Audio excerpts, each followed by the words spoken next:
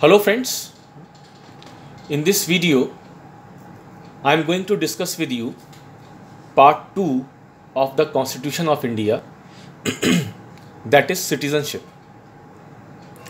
Now citizenship has been described from article 5 to 11 and here we can establish a clear link between part 1 and part 2 of the constitution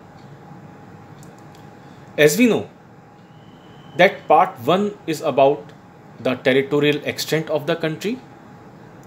And in continuation to part 1 part 2 deals with the provisions regarding citizenship of the people who live in this territory. This part of the constitution determines who can be the citizen of India and who cannot be the citizen of India. It further determines how a person can acquire the citizenship of India and how a person can lose his or her Indian citizenship. Friends, I intend to cover this part in two videos. In the first video, I will discuss the constitutional provisions which are pertaining to the citizenship and the second video will contain the Citizenship Act of 1955. Alright friends, now, before going into the details of the citizenship, let's first understand a few basic things about the citizens. So, here as we can see that there are two types of people who live in India. Who are they? They are number one, the citizens, and number two, the aliens. Now, talking about the citizens first. So, the citizens have the citizenship of India and they enjoy all civil and political rights that have been provided by the constitution to the Indian citizens. On the other hand, the aliens are the citizens of some other country and they do not enjoy all the civil and political rights that are enjoyed by the citizens. Now, talking about the aliens further, aliens, there are two types of aliens. There can be the friendly aliens or there are enemy aliens. Now, what is the difference between these two types of aliens? So, talking about the friendly aliens, they are the citizens of those country that have friendly relations with India. And the enemy aliens are the citizens of that country which is at war with India. Enemy aliens enjoy less rights in comparison to the friendly aliens. So this was about the citizens, the kind of people who live in India.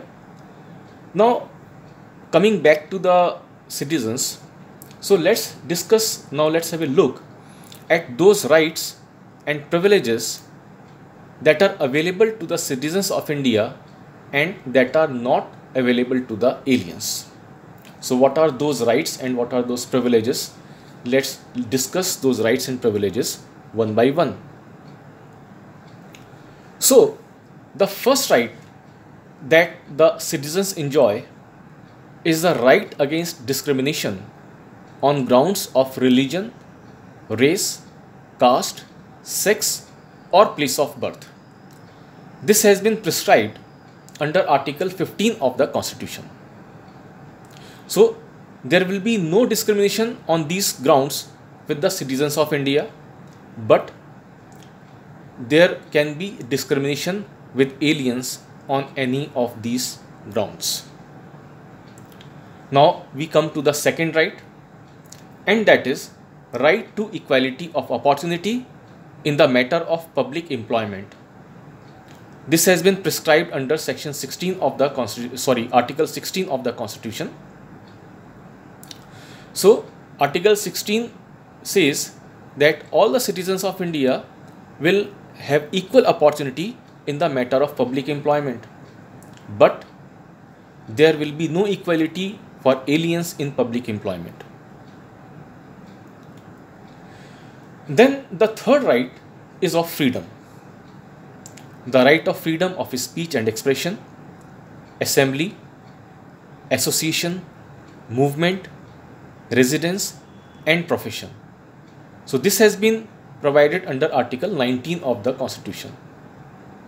Now these six kinds of uh, uh, freedoms are available to the citizens of India but these freedoms are not available to the aliens. Then comes the fourth right that is the cultural and educational rights and these have been provided under articles 29 and article 30 of the constitution. So all the citizens of India get cultural and educational rights but these rights are not available to the aliens. Now friends, apart from these rights and privileges, there are certain other rights which are available to the citizens of India only. So let's have a look at them also. So the first right is the right to vote in elections to the Lok Sabha and state legislative assembly. So as we know that only our citizens can vote in these elections aliens and foreigners are not allowed to vote in any of these elections. Then there is right to contest for the membership of the parliament and the state legislature. So we know that only the citizens of India can contest these elections and as we also know that it has been prescribed in the eligibility criteria for the candidates who wish to contest any of these elections that they must be the citizens of India. So only the citizens of India have the right to contest for the membership of parliament and any state legislature.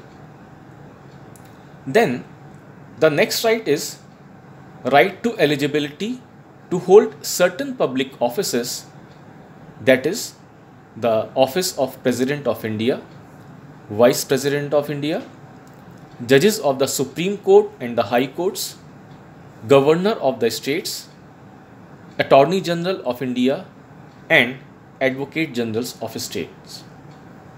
So, friends, these offices are also only to be held by the citizens of India, and no alien is allowed and no alien is allowed to hold any of such office.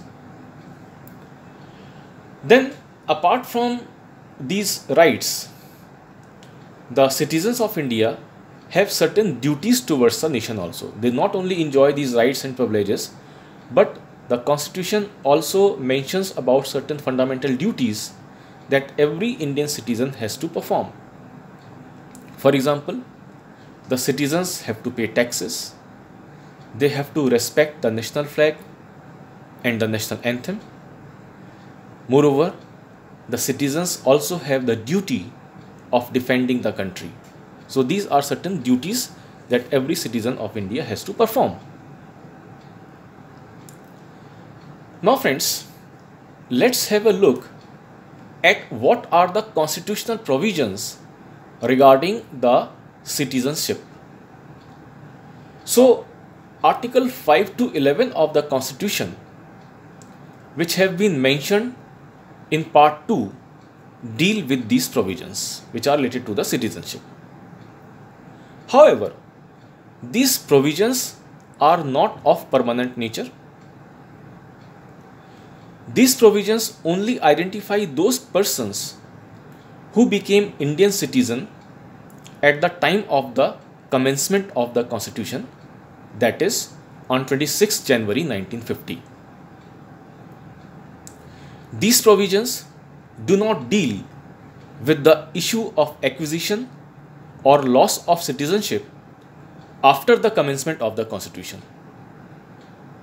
And for dealing with these issues, the constitution has empowered the parliament to enact suitable laws.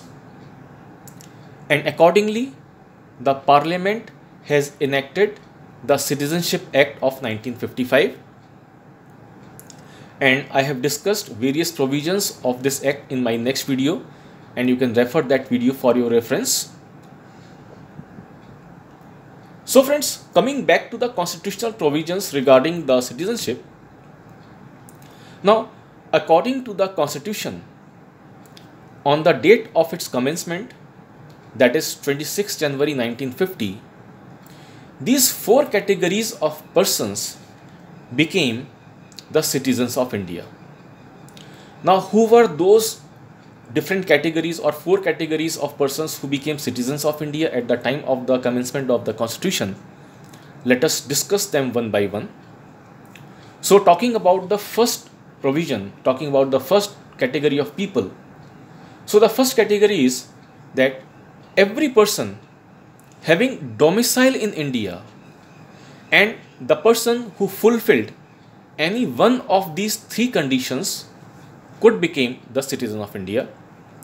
So what are these three conditions? A. If he was born in India. B. If either of his parents was born in India. And C. If he has been ordinarily resident in the territory of India for five years immediately before the commencement of the constitution shall become a citizen of India. So this has been prescribed under article 5 of the constitution. So any person who had domicile in India and who fulfill any one of these three conditions became automatically became the citizen of India that was prescribed by Article 5 of the Constitution. Then, the second point says that a person who migrated to India from Pakistan became a citizen of India if he or either of his parents or any of his grandparents was born in undivided India and also fulfilled any one of these two conditions.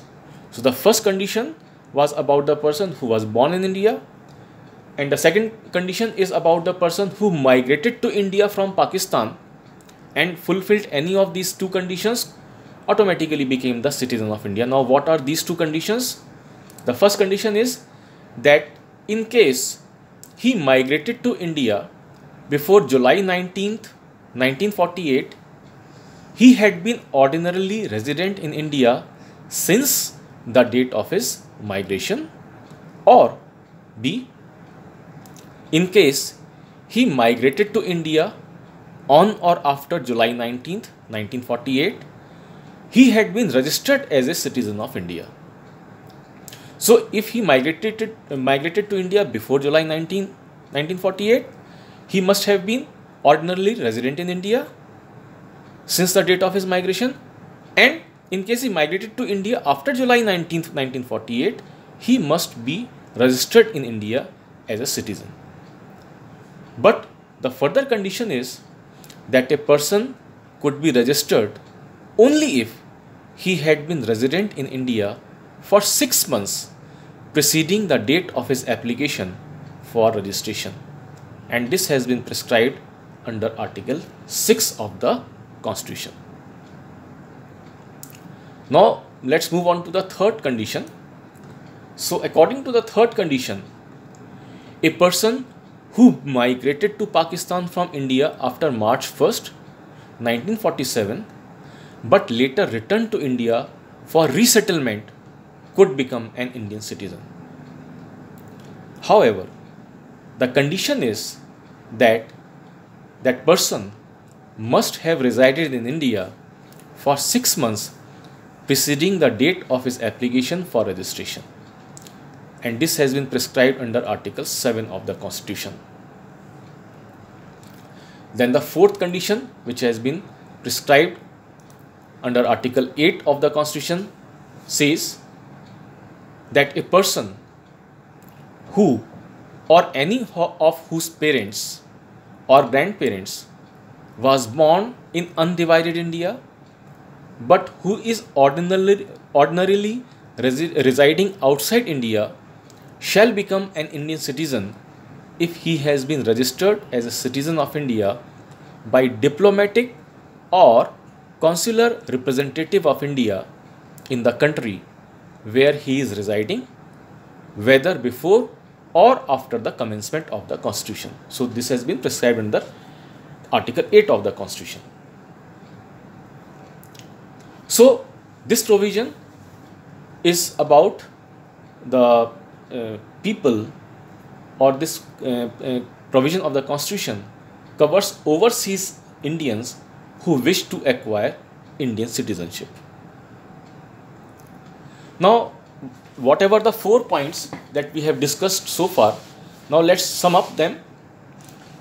So, these were the four points that we discussed. First were the uh, first in the category were people who were domiciled in India. The second category of persons were those persons who migrated from Pakistan to India.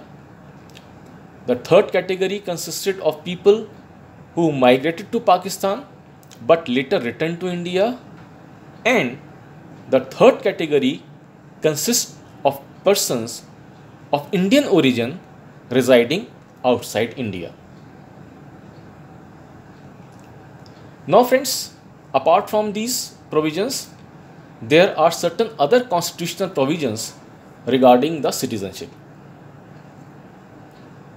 So, previously we discussed provisions which have been prescribed under Article 5 to 11, sorry, 5 to 8 of the Constitution.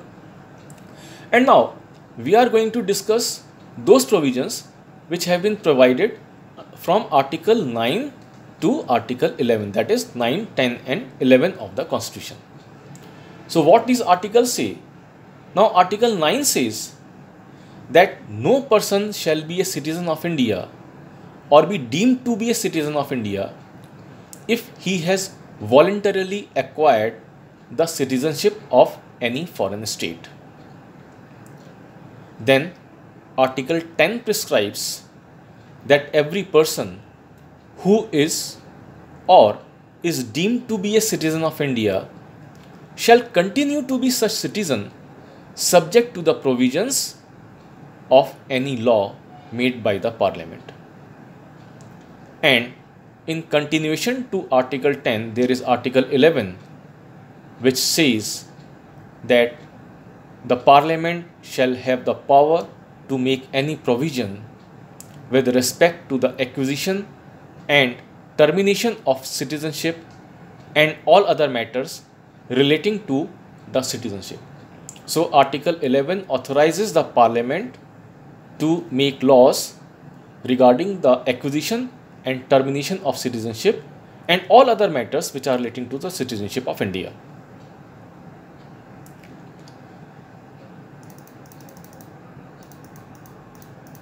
So friends, this way we discussed the various provisions or various constitutional provisions which are regarding the citizenship. In the next video, which is in continuation to this video, I will discuss the Citizenship Act of 1955 which has been enacted by the Parliament pertaining to the acquisition and loss of citizenship. If you find this video useful for yourself, please like, share and subscribe it. Keep watching. Thanks.